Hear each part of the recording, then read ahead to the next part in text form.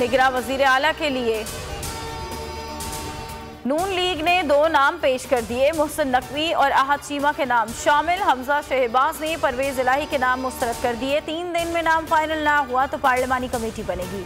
पाँच दिन में किसी नाम पर इतफाक हो जाएगा। इलेक्शन कमीशन भी नब्बे रोज में इलेक्शन कराने के लिए तैयार।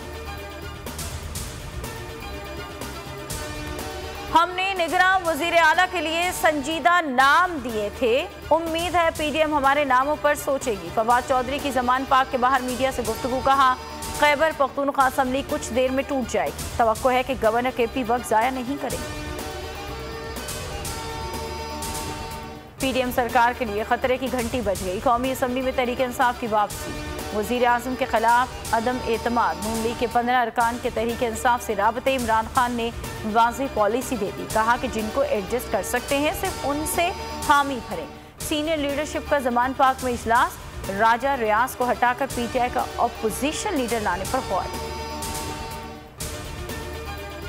आम इंतबात तीन माह में होंगे। पसे पर्दा मुजाकर जारी है। परवेज इलाही कहते हैं, पीटीआई में इंजमाम से मुतल हतमी राय कायम नहीं हुई।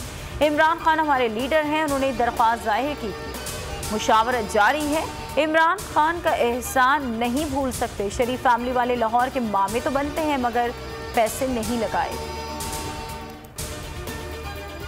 तहरीक इंसाफ का पार्लियामेंट में वापसी का ऐलान। सुप्रीम कोर्ट में बाजगर चीफ जस्टिस उमर अता बंदियाल ने इस्तफसार किया। अगर पीटीआई वापस आती है तो क्या हुकूमत उनके साथ मिलकर बैठेगी? क्या नैब तरमीम का मामला वापस पार्लियामेंट भेज दें? जस्टिस एजाजुल हसन ने रमार्क्स दिए, उम्मीद है हुकूमत और पीटीआई इतफाक राय से कानून साजी करेगी। दोनों मिलकर बेहतरीन कानून बना सकते हैं। सुप्रीम कोर्ट कई मरतबा ऑब्जर्वेशन दे चुकी। नैब तरमीम के इस पार्लियामान में हल होना चाहिए।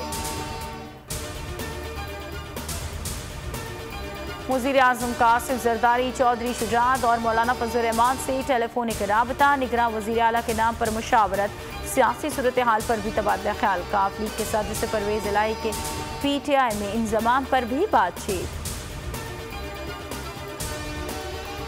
नून लीग में धड़ेबंदी खुलकर सामने आ गई। मरीम नवाज़ को चीफ ऑर्गेनाइजर बनाने पर शहबाज ग्रुप नाराज़। अहम मामला में नवाज़ शरीफ और मरीम के करीबी रहनुमा नजरअंदाज।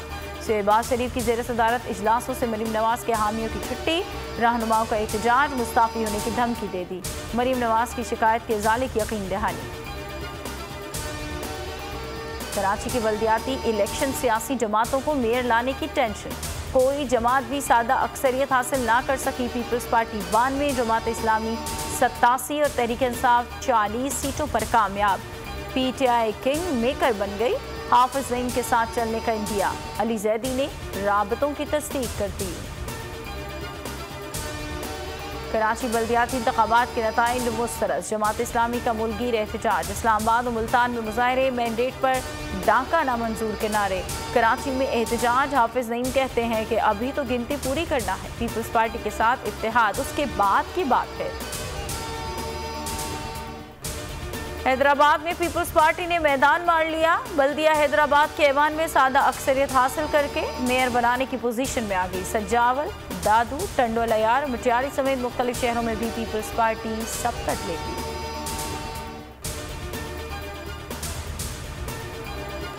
हेडलाइंस आप जान चुके अब आप देख सकेंगे प्रोग्राम आप पता चला। किसी भी खबर के लिए विज़िट कीजिए हमारी website, poll news dot com और देखते रहिए सिर्फ़ पोल न्यूज़।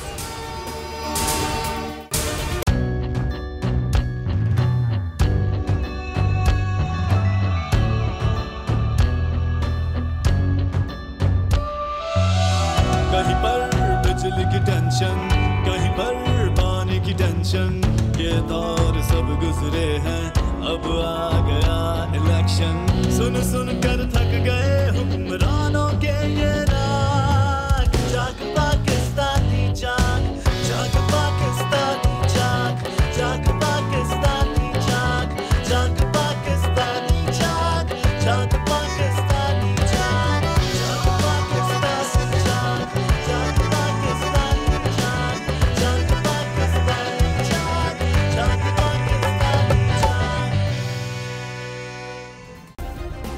सब्सक्राइब करें और बेल दबाएँ ताकि कोई खबर रह न जाए।